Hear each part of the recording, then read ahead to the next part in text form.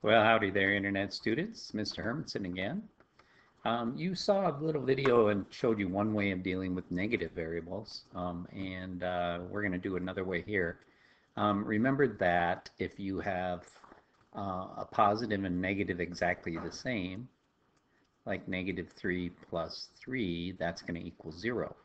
Or likewise, negative x plus x equals 0, or negative 2x plus 2x. These all um, end up equaling 0 when you add them together. So we're going to use that idea and the balance beam to help deal with negative um, coefficients. So, uh, so what we could do here is I can use, let's use a black X for positive and a red X for negative. So we can choose whatever color you want there, but so on one side, I'm going to have four x's and then six extra ones. You can write those as ones if you want, or six if you want, but I'll just use tally marks. Then on this side, I'm going to have a negative 2x, so I'm going to show that as a uh, red x. And then we have 12 ones there, which are positive ones.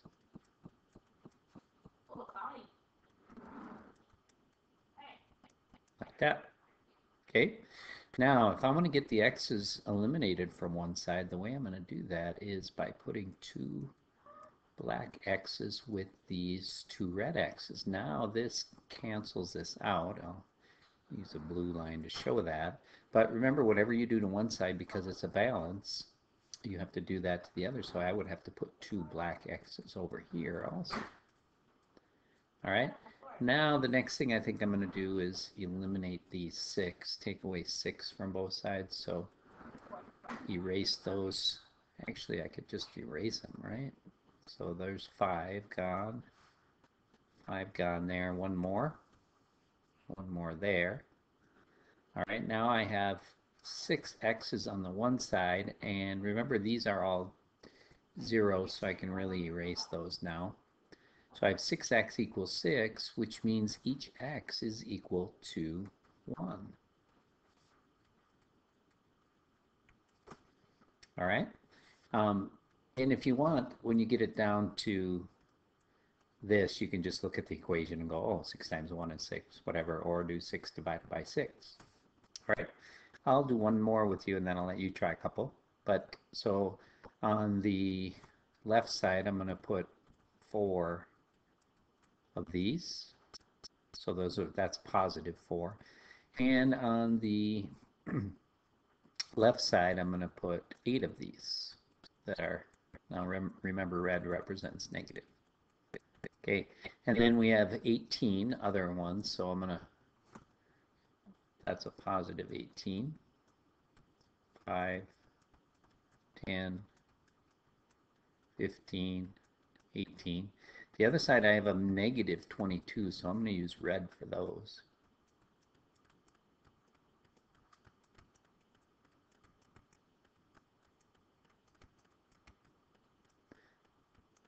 There's 22. Okay, now I'm going to start by eliminating all these red x's over here, and the way I'm going to do that is by every for every red x I want a black x. So I need eight of those.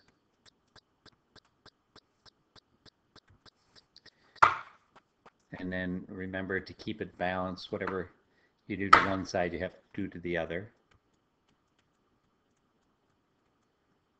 So I'm going to have to put eight of them over here also.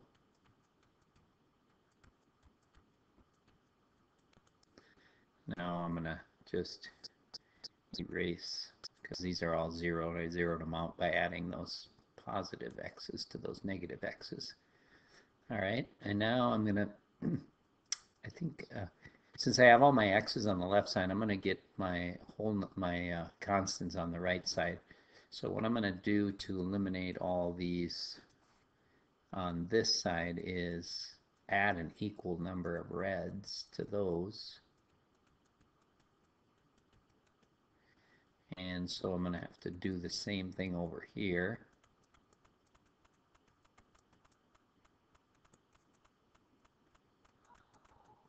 So now I can erase these because I put a positive one with every negative one. And at this point, um, I'm going to look at my equation. I have uh, 12x on the left side, and that's going to equal uh, 35. Is that right?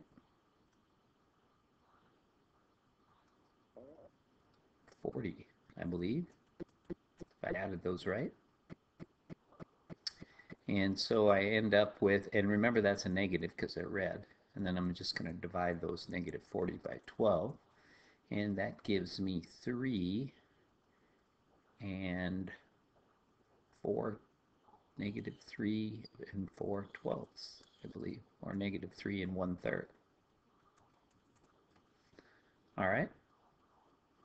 So I'm going to let you try a couple, see if you can do that. Mess around with the black and the red or the yellow and the white, however you want to do that, um, to make the equations.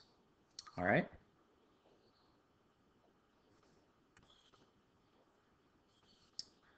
So if you did that right, you got 3 for number 3 and negative 4 for number 4. All right.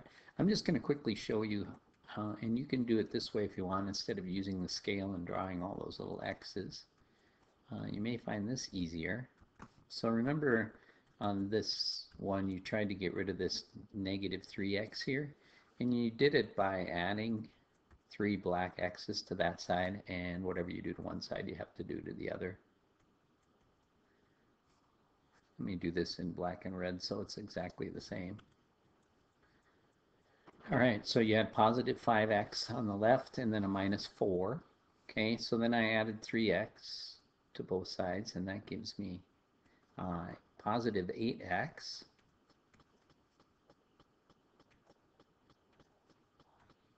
on the left side, and then a minus 4 equals this, this part is zeroed out here, and so I have just plus 20 on this side.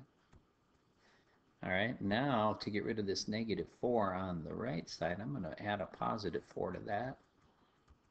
Negative 4 and plus 4 is 0, so I end up with 8x equals 24. And at this point, I can see x must equal 3 because 8 times 3 is 24, right? So that's how to show this algebraically. Um, we'll do this second one here. I'll show you one more time algebraically. So these are all positives on the left, on the left here, the 2x plus 15. And on the right, you have positive 3, but then you have negative 1x. So I'll just put a minus x there. Now, to get rid of that minus x, I might just add 1x to that. Like that. And that gives me 3x plus 15 equals 3. At this point, you can backtrack if you want. You could do 3 minus 15, which is negative 12, divided by 3 is negative 4. All right.